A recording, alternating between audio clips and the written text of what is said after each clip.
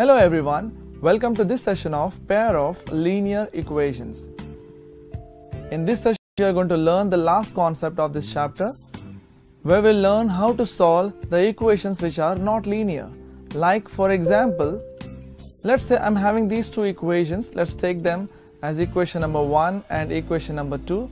If you see the variables are in the denominator so it is clear that they are not the linear equations. So first of all, we have to do some adjustment and we have to reduce these two equations into linear equations.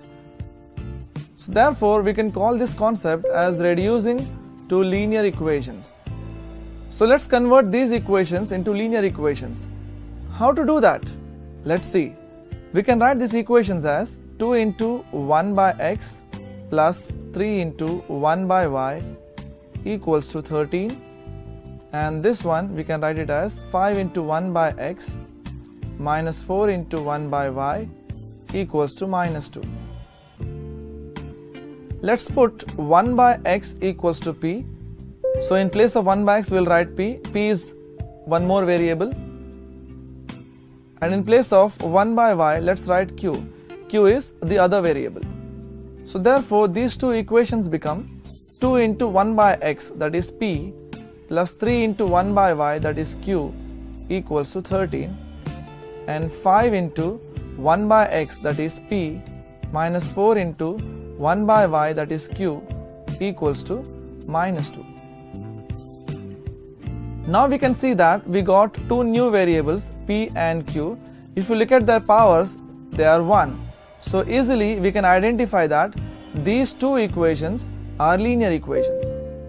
And we already know different methods for solving pair of linear equations. Let's take this equation as 1 and this equation as 2. Use any method for solving this pair of linear equations, you'll surely get p equals to 2 and q equals to 3. But our aim is not to find the values of p and q, but we have to find the values of x and y.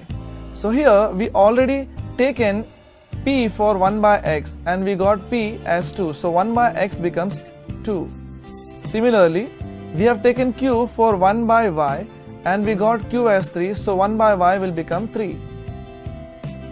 Since 1 by x is equals to 2, we can easily say that x is equals to 1 by 2. And since 1 by y equals to 3, we can easily say that y equals to 1 by 3.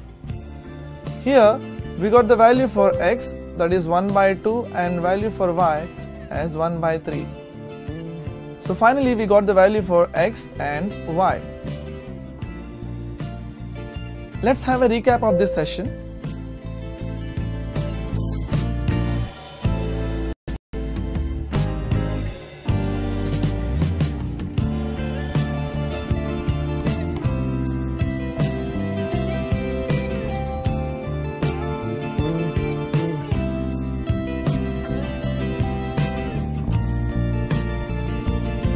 The complete course for grade 10th CBSE Math is available in pen drive and SD card format.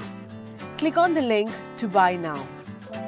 To know more, you may also check the description box below.